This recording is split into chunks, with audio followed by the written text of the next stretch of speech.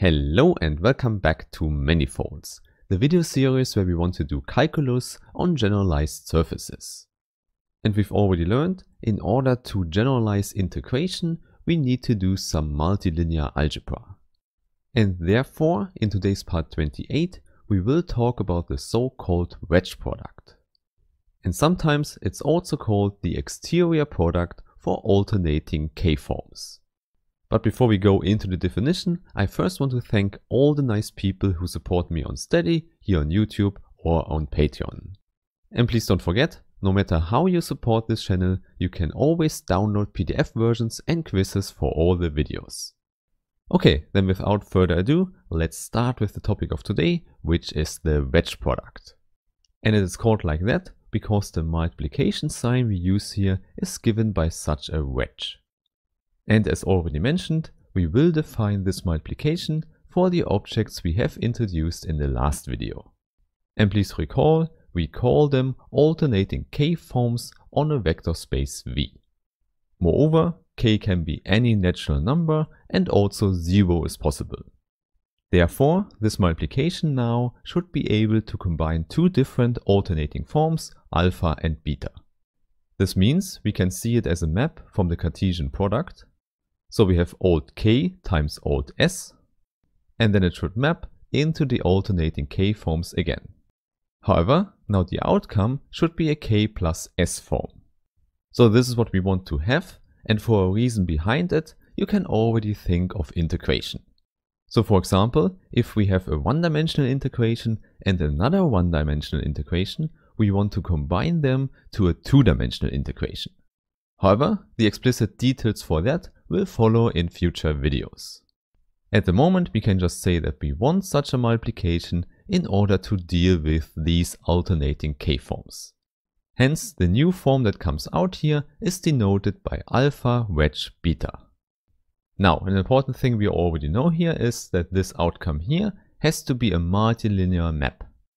More precisely, it has to be a k plus s linear map. This means it gets exactly k plus s vectors from v as an input. And now the question is, how would you define this number here by using alpha and beta? So obviously we could just use alpha and putting in k vectors and then we multiply with beta where we use s vectors. More concretely here we go from vk plus 1 to vk plus s. So this is definitely a nice definition that gives us a k plus s linear map. So it's a multilinear map, however, the problem is it's not an alternating map with this definition.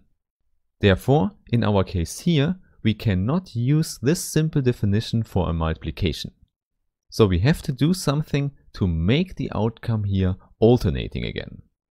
And now if you remember some linear algebra and the definition of the determinant, you might already know how to do it in this case. In fact, you have to deal with permutations of the vectors we put in. This means that we have to sum up some of the combinations we get from these products here. Okay, then I would say let's write this down for an alternating k form alpha and for an alternating s form beta. And then as before, we will define the new form alpha wedge beta. Moreover, we already know we have to put in k plus s vectors and then we have to combine alpha and beta with permutations of these vectors. Therefore, I would say let's start with that and let's call the permutation sigma. Therefore, the first input here is v with index sigma of 1. And this continues until we have v sigma of k.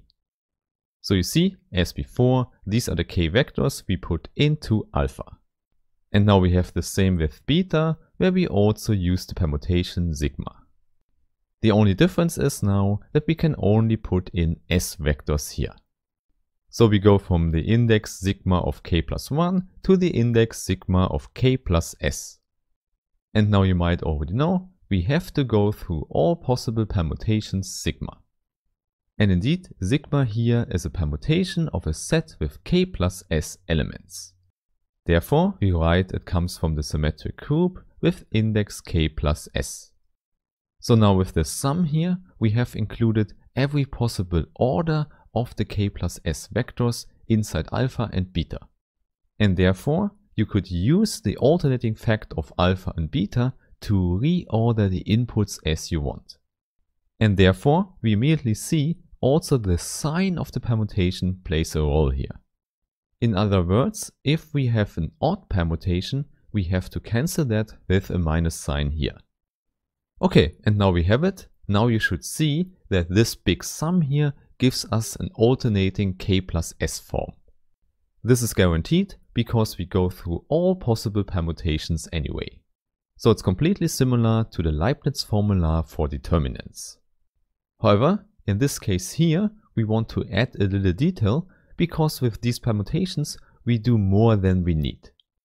In fact, a lot of parts of the sum are repeated simply because, for example, a permutation that only changes something inside alpha here will not change the overall value of the part of the sum. So this is not a problem for the alternating part, but it changes the actual number that comes out here for this form. Hence, in order to normalize this number, we will divide by the number of these repeated parts. So indeed, we have k factorial possibilities inside alpha and s factorial possibilities inside beta. And now we are finally done. This is the whole definition for the wedge product of alternating forms. And with that, I would say we are ready to look at some examples. Let's start with a very simple possibility where alpha and beta are one forms on a vector space V. Indeed, there alternating does not change anything because we only have one vector as an input.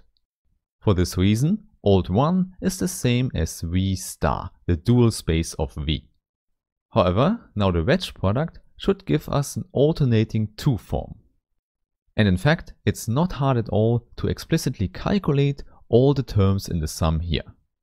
Simply because there are only two permutations at all. And let's start with the trivial one, the identity that does not change anything at all. Hence, in this case, we have alpha u times beta v. And now you already know, the second one just changes u and v here, but it's an odd permutation, so we have a minus sign. And now we have it. This is the general formula of the wedge product of two one forms. So easy to remember, but please don't forget, the outcome here is an alternating 2 form. And now you might ask, how does this look in a concrete vector space V and maybe we choose R3. So our one forms now are linear functionals with domain R3. So for example, we could say alpha of a vector x1, x2, x3 is defined as giving out the first component x1 here. Okay, but now please don't be confused. Now the index here denotes the components of a vector. Before, the index just denotes the number of the vector. So this should not be a problem because it's the usual thing in linear algebra. Okay, now in addition, we can also define beta as a linear functional and maybe it gives the second component. And now what you should know is that we can rewrite that as a matrix product. Namely, we can write a row vector 0, 1, 0 and our column vector x1, x2, x3. And if you see it like that, you could say that beta is actually given by this row vector. So in that sense, giving an alternating 1 form is the same as giving a row vector here. And now the question is, what does it mean for our 2 form alpha wedge beta? So now we have to put in two vectors and let's call them x and y with their components. And by the formula above, you already know what to do. So first we have alpha of the first vector, which is x1 times beta of the second vector. So we have x1 times y2 times y1 times x2. And this we now could write as an inner product with a matrix. So let's use the pointed brackets for the inner product and then let's write a 3 times 3 matrix which gives us this result. So it's not hard to see, we have 0, 1, 0 in the first row, then minus 1, 0, 0 in the second row, and also only zeros in the last row. So you see, we can rewrite this alternating 2 form here with this inner product and a given matrix here. Hence, we can identify this matrix with the alternating 2 form. So you could say, on this concrete level here, our definitions also give very concrete objects. Okay, that is good enough for now, because later we will see much more examples. First, I think it's really important that you know some properties of this wedge product. In general, you should know it's not commutative. Simply because if you change the order, you get a minus sign depending what is the order of alpha and beta. So you have minus 1 to the power k times s. And then we simply have the other order. So please remember this factor here. Some people just say this is the anti-commutative rule of the wedge product. Now the second thing is a little bit clearer, it's a bilinear mapping. This means if you add two alternating forms alpha and alpha prime here on the left hand side, then you have a distributive rule for the multiplication. So more precisely, you have alpha wedge beta plus alpha prime wedge beta. And please note, if you now use rule A, you get the same property in the second factor. Okay, and I already said we have a bilinear mapping, so we can also scale with scalars here. So roughly said, it means you can pull out the scalar. And as before, this works in the first and the second argument by rule A.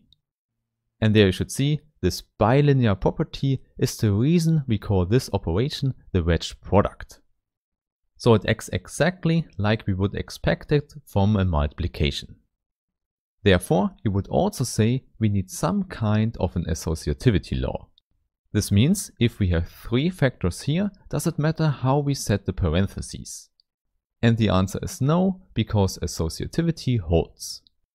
Now, I will not write down the proof for these facts, because it's just a manipulation with the permutations. So maybe not so easy, but it just comes out of the definition. For this series here, it's more important that you remember these four rules for the wedge product. So you see, we've already reached the last property now, but for that I first need a definition. Here I need two vector spaces W and V and a linear map between them. And now it turns out that every alternating K form on V can be pulled back to W. This means with the help of F, we can define a new alternating K form on W. And the usual name one chooses for that is F star. More concretely, F star alpha is the new alternating form. And in fact, it's often just called the pullback of the alternating form. Okay, so now what is the definition? What happens if we put k vectors from W inside this form? And now the answer is really easy, just use alpha again. And moreover, just put the images of the W vectors into alpha. So you see, now we have k vectors in V here on the right hand side, so this definition works. So please remember that, this is how we define the pullback. So not a complicated definition, but a very important one. And now the natural question is, what happens if we apply this pullback to the wedge product? So can we simplify f star of alpha wedge beta? And indeed we can, we can just calculate the wedge product of the two pullbacks. So please remember that the pullback can be pushed into the wedge product. And here I can tell you, this property means for some people that the wedge product is natural. Moreover, I can already tell you, for calculating on manifolds, this will be a very important property. Therefore, I would say let's use the next video to push all these definitions and properties to manifolds again. So I really hope I see you there and have a nice day. Bye bye.